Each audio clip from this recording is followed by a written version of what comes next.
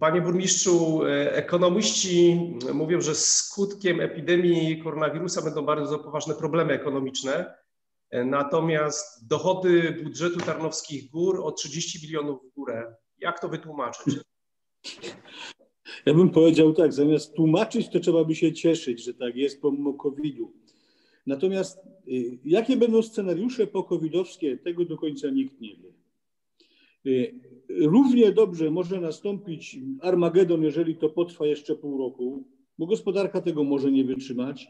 Pytanie, w jakim stopniu ten lockdown będzie wprowadzony ostatecznie w naszym kraju, w Europie, w świecie. Te powiązania dzisiaj przecież są bardzo dalekie. A równie z drugiej strony może nastąpić po takim, po takim głębokim dołku, może nastąpić odbicie. Ja powiem, Tarnowskie Góry są specyficznym miastem. Wielokrotnie to podkreślaliśmy. Y, tu y, mamy około 6 tysięcy przedsiębiorców i ci przedsiębiorcy to są głównie mikroprzedsiębiorcy, a więc tacy, którzy są samozatrudnieni bądź y, zatrudniają kilka osób, nie więcej niż dziewięć. To są najbardziej elastyczne przedsiębiorstwa. To są przedsiębiorstwa, które są w stanie reagować na każde wahnięcie na rynku. I w związku z czym większości tych przedsiębiorców, ale mówię większości, bo nie mówię, że wszystkich, COVID specjalnie wielkiej szkody nie wyrządził.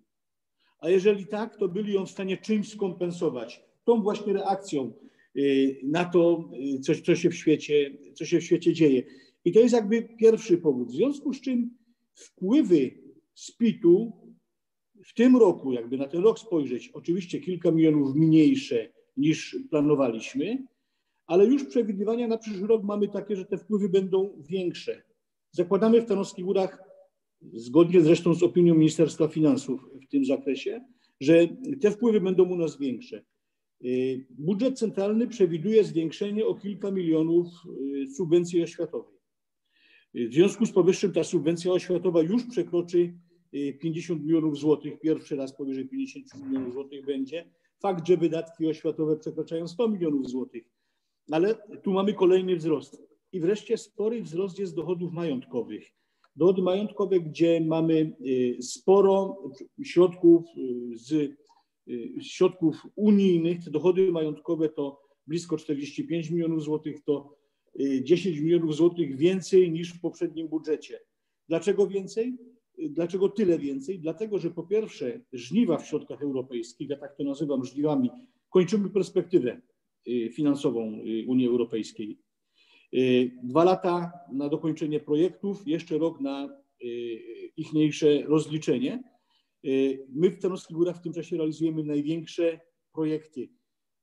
Centrum przysiadkowe przede wszystkim, ulica Sobieskiego, przebudowa centrum miasta, dróg w centrum miasta.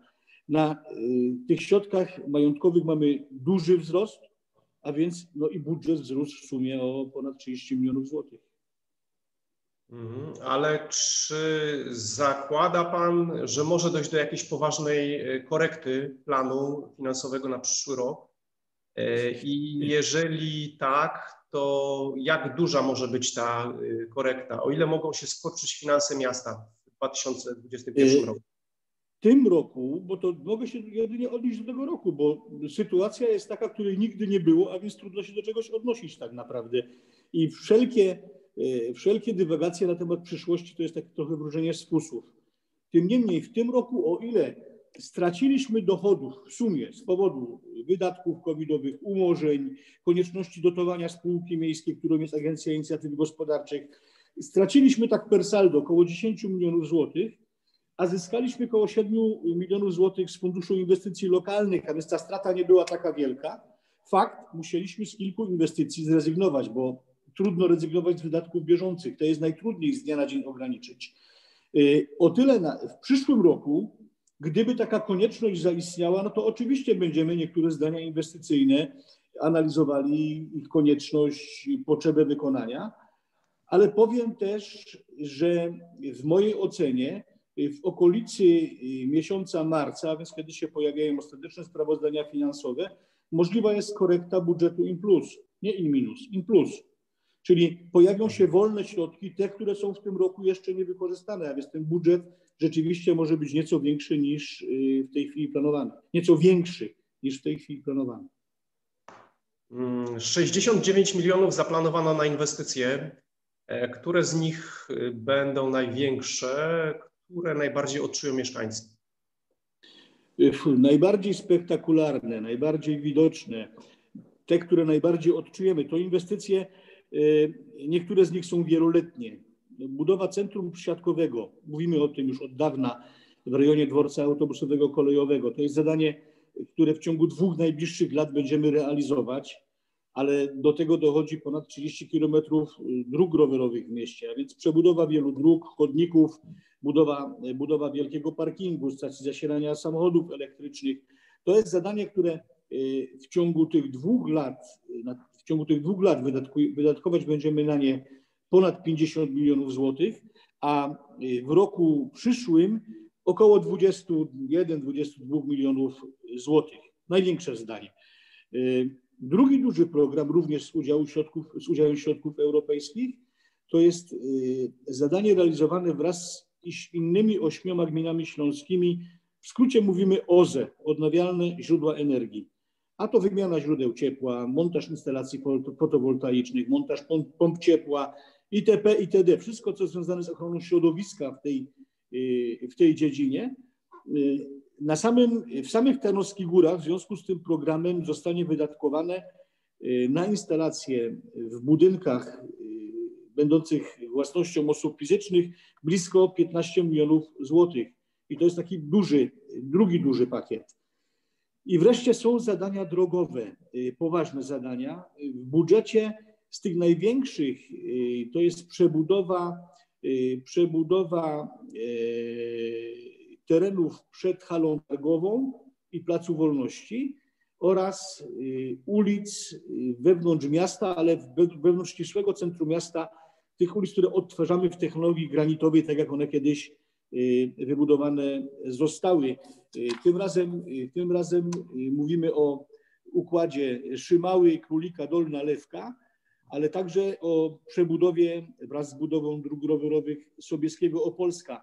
W sumie kwota na tych zadaniach dwóch to jest znowu blisko ponad 9 milionów złotych. Myślę, że są to największe, najbardziej widoczne, niestety też y, chyba najbardziej odczuwalne w czasie budowy przez mieszkańców zadania. Wydatki budżetu na przyszły rok zaplanowane 393 miliony złotych jest o 37 milionów złotych więcej niż w tym roku.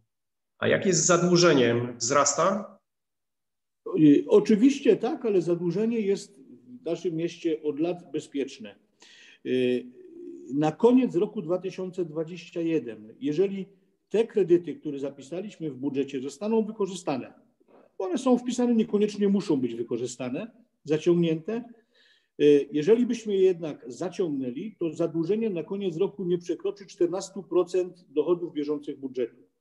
Co oznacza, że y, w liczbach bezwzględnych będzie to około 50 milionów złotych y, bezwzględnego zadłużenia.